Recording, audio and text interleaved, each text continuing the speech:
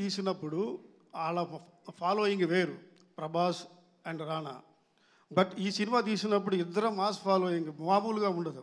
అలాంటివి చేసినప్పుడు ఎక్కువ తక్కువ అసలు ఎట్లా మీరు దాన్ని కన్విన్స్ చేయాలని మీకు ఏమైనా అనిపించిందా? గతంలో కృష్ణ శోభన్ బాబు మహాసంగ్రామం సినిమా తీసినప్పుడు అప్పుడు ఒక ఫ్యాన్ ఒక వర్గం ఫ్యాన్ హట్ అయ్యి గొడవలు జరిగినాయి.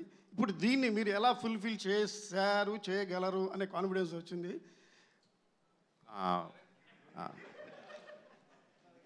ఇంకా ఇంకా ప్రశ్న అడిగేసిన తర్వాత మీ ఫేస్ చూపించను ఇంకా నాకు. ఓకే నేను నాకు ఆ ఫోన్ చూస్తే మాట్లాడాలి. సరే. నా నాకు కొన్ని నమ్మకాలు ఉంటాయండి. కొంత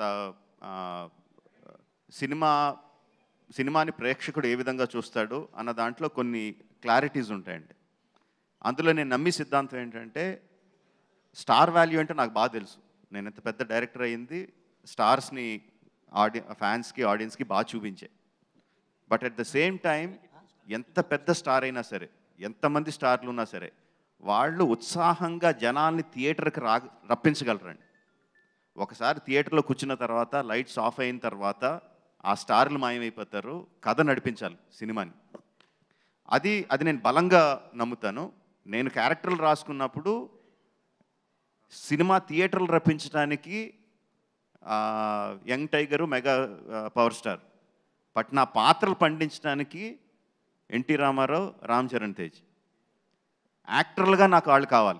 సినిమాకి రప్పించడానికే స్టార్లుగా కావాలి. నా కథని వాళ్ళకి చెప్పడానికి నాకు యాక్టర్లు కావాలి. ఆ యాక్టర్లు తీసుకున్నాను. వాళ్ళ మధ్య స్నేహాన్ని చూపించగలిగితే జనాలు కూడా ఆ స్నేహానికి రెస్పాండ్ అవుతారు తప్ప మెగా పవర్ స్టార్కి యంగ్ టైగర్కి రియాక్ట్ అవ్వరు అని నమ్మానండి. సో ఆ నమ్మకంతోనే సినిమా తీశాను. సార్ నా నా నా పేరు సుబ్బారావు అండి ఎన్టీవీ. నా క్వశ్చన్ తారక్ అండ్ చరణ్ గారికి. జనరల్గా మీరు రాజమౌళి గారు ఏ హీరోతోనైనా వాళ్ళల్లో ఉన్న పొటెన్షియాలిటీని మ్యాక్సిమం లాగేస్తుంటారు. సో అలా మీరు ముందు మగధీరలో మీ నుంచి బాగానే అవుట్పుట్ బాగా పెట్టారు అలాగే తారక్ మీతో చాలా సినిమాల్లో ఆయన మ్యాక్సిమం అవుట్పుట్ రాబట్టారు. సో ఈ పర్టికులర్ సినిమాలో ఏ సీన్లో మీ మీలో ఉన్న మొత్తం పొటెన్షియాలిటీని ఆయన పర్టికులర్గా బయటకు రాగారు అనేది మీ ఇద్దరు ఫీలింగ్? ముందుగా రాజమౌళి గారితో పనిచేయడం ఒక యూనిక్ క్వాలిటీ ఉంటుందండి ఆయనకి.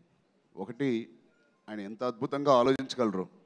ఒక రూమ్లో కూర్చుని పెన్ తీసుకుని పేపర్ తీసుకుని రాయడం నుంచి మొదలుపెడితే ఒక ఆలోచన నుంచి మొదలుపెట్టి దాని తర్వాత యాక్టర్స్ని పిలిచి మాకు మాకు చెప్పి దాని తర్వాత సెట్లో మళ్ళీ మాకు అది చెప్పేటప్పుడు ఆ సీన్ ఏదైతే ఆయన ఎంత హోంవర్క్ చేసుంటారో అది ఎంత ఈజీగా ఉంటుందో మాకు. కేవలం ఆయన చెప్పింది చేస్తే మాకు అది దానికి ఆయన కన్విన్స్ అయితే అదే ఒక వంద మార్కులు మాకు. దానికి మించి మేము ఎక్కువ కష్టపడట్లేదు. బహుశా ఫిజికల్గా మా టైం ఇవ్వడం మెంటల్గా మేము స్ట్రాంగ్గా ఉండడం ఇన్ని రోజులు ఆయనతో ఉండడం ఆయన ఏమేమి ఆలోచిస్తున్నాడో వాటికి మేము బలంగా మెంటలీ అండ్ ఫిజికలీ బలంగా ఉండడానికి మేము ప్రయత్నించాలి. మిగతా అదంతా హోంవర్క్. సత్యంగా I mean I swear to God అది ఇక్కడ ఉన్నారని కాదు కానీ నిజంగా అంత ఈజీగా మా ప్రయాణం జరుగుద్ది. సార్ రాజమౌళి గారు. సార్ ఇక్కడ సార్. సార్ ఒక్క సీన్ అని చెప్పలేము కానివ్వండి triple R was a commitment మొత్తం చిత్రమే కమిట్మెంట్ ట్రిపుల్ ఆర్ కేవలం పర్ఫార్మెన్స్ కాదండి. It was the commitment we need we need to have as actors నటులుగా ఆయనకు ఆ కమిట్మెంట్ ఇవ్వగలిగితే చాలు దీనికి. అదే చాలా కష్టమైంది. మూడు సంవత్సరాలు దాదాపు మధ్యలో పాండమిక్ వచ్చిన యాజ్ సచ్ ట్రిపుల్ ఆర్కి కేటాయించిన రోజులు తక్కువైనప్పటికీ ట్రిపుల్ ఆర్ గురించి ఆలోచించే రోజులు ఎక్కువ ఉండింది. పాండమిక్లో కూడా ట్రిపుల్ ఆర్ తప్ప వేరే లాజిక్ లేదండి మాకు. వేరే ఆశ లేదు. ఎప్పుడెప్పుడు వెళ్దామా ఎప్పుడెప్పుడు ఆ షూటింగ్లో భాగం పంచుకుందామా ఎప్పుడెప్పుడు ఆయన పాత్రలో ఇమిడిపోదామా అని so triple R movie as a commitment చాలా కష్ట కష్టమైనటువంటి ఒక ఇదండి. So it was not one scene so whole movie was a big commitment NTR గారు. Yeah one more question sir NTR గారు. మీది వన్ మోర్ అంటే అదర్ లాంగ్వేజ్ మీరు ఎంతవరకు అదర్ లాంగ్వేజ్ సినిమాలు మీరు ఎంట్రీ అనేది ఎప్పటి నుంచో వెయిట్ చేస్తున్నారు? బాలీవుడ్ దగ్గర నుంచి మలయాళం కానీ కన్నడ కానీ తమిళ్ కానీ ఇది ఈ సినిమా మీకు కరెక్ట్ అని భావించి మీరు ఈ సినిమా ఒప్పుకున్నారనుకోవచ్చా అదర్ లాంగ్వేజ్ విషయంలో? ఏమంటే నిజంగా మీరు నేను మాట్లాడుకుందాం. అదర్ సినిమాలోకి వెళ్తామని ఒప్పుకుంటామా? రాజమౌళి పిలిచి కథ చెప్పాడు కాబట్టి ఒప్పుకుంటామా? చెప్పండి నాకు. అసలు అంత లేదండి అక్కడ. ఇప్పుడు సింపుల్ ఆయన మామూలుగా నేను ఓన్లీ తెలుగు సినిమా చేస్తా అంటాడు. లేదు నేను జైను అని అంటాం ఏంటి మనం? సరే ఇప్పుడు బాలీవుడ్ అదర్ లాంగ్వేజ్ ఎంటర్ అవడం పట్ల మీరు ఎలా ఫీల్ అవుతున్నారు? కాదు కాదు ఒక్క నిమిషం. ఒక మా ఫస్ట్ లెవెల్ ఆఫ్ థాట్ ఏంటి? రాజమౌళి ఒక అద్భుతమైన దర్శకుడు. ఆయనతో ఒక జర్నీ ఉంది. చరణ్తో ఒక లెవెల్ ఆఫ్ జర్నీ ఉంది. నాతో ఒక లెవెల్ ఆఫ్ జర్నీ ఉంది. దాదాపు ఇండస్ట్రీకి వచ్చిన దగ్గర నుంచి నాకు తను బాగా తెలుసు. ఆయన ఇండస్ట్రీకి వచ్చిన దగ్గర నుంచి ఆయనకి ఆయనతో ఒక సంబంధం ఉంది. ఒక రిలేషన్షిప్ ఉంది. ఆయన ఎప్పుడైతే వచ్చి కథ చెప్పాడో బా యాక్టర్స్గా మాకు మంచి హై ఇస్తాడనే దానికి ఒప్పుకుంటాం కానీ ఇప్పుడు నేను నిజంగా ఆ రోజు "ఆ, ఇప్పుడు హిందీలో తీస్తావా మలయాళం తీస్తావా తమిళలో తీయకపోతే నేను చేయను చెప్తాను ఇంకేం అచ్చా. అది అది తర్వాత అంతా పాటలు అయిన పడ్డాడు అది అయిన పాటలు.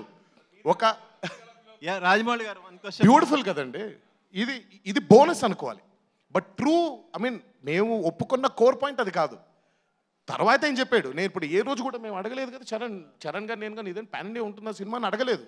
ఆయన వచ్చి ఆఫ్ కోర్స్ ఇది పాన్ ఇండియా ఉంటుంది కదా అని ఓ రోజు చెప్పారు ఆయన. ఓహో అని అనుకున్నాం. తర్వాత మీరే డబ్బింగ్ చెప్పాలి అని అన్నారు. రాజమౌ- రాజమౌళి గారు. Just before I continue oh just before I continue Alia నేను కొంచెంసేపే లాగాను. She has a flight to catch మళ్ళీ అని వెళ్ళిపోవాలి ఇఫ్ దర్ ఇస్ అంటే she will be there for ten minutes మీకు ఏమైనా క్వశ్చన్స్ ఉంటే you ask her but we will be here. మేము పారిపోం. మీరు అడిగి ప్రశ్న అన్నిటికీ సమాధానం చెప్పే వెళ్తాం. సార్